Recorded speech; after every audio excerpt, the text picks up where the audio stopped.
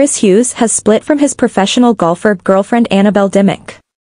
The Love Island star, 29, and Annabel, 25, have finally called time on their 10-month romance, after being plagued by split rumors since May.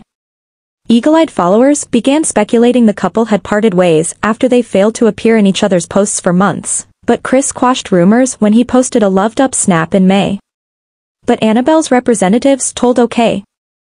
Magazine on Friday, I can confirm they have split and Annabel wishes Chris all the best.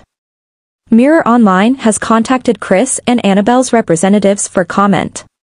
The pair began dating last summer and reportedly lived together.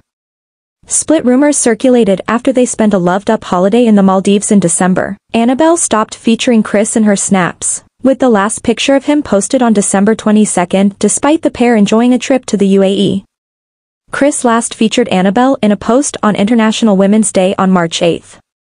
The pair had gone from posting loved-up snaps together every few days to radio silence for months, leading fans to assume their relationship was over. Although followers voiced their concerns for their relationship under each new post for months, the couple remained tight-lipped. Chris shot to fame on Love Island in 2017. He and his then-girlfriend Olivia Attwood came third in the competition but split seven months after the show ended. He is then began dating former Little Mix star Jesy Nelson, they broke up after 18 months together, with the first coronavirus lockdown taking the blame for keeping them apart. Chris said back in October he was the happiest he's ever been and said he couldn't wait to get married and have kids with Annabel.